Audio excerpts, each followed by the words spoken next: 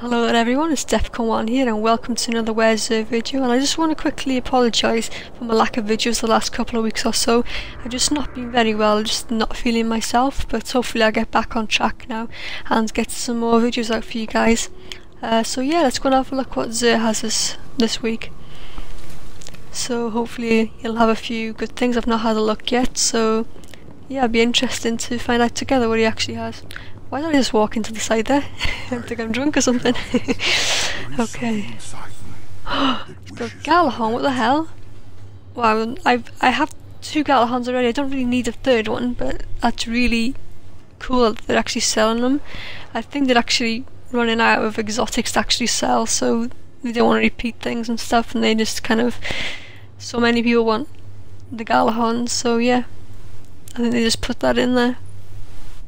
I actually have the Warlock helmet that's there this week, but I don't really need to buy any of these exotics uh, because I have enough already.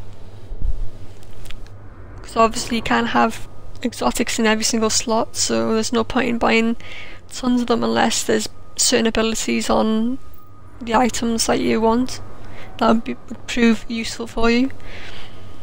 But for me, I think I have what I need. Yeah, I already have this one. I think I bought it off Xûr myself. Unless I had it as a drop.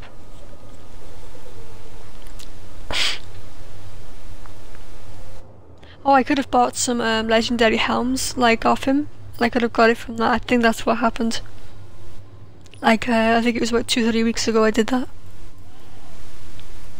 Okay, I know probably everyone knows what's abilities that the Gjallarhorn has, but I'll still go through it just to, in case somebody that doesn't know.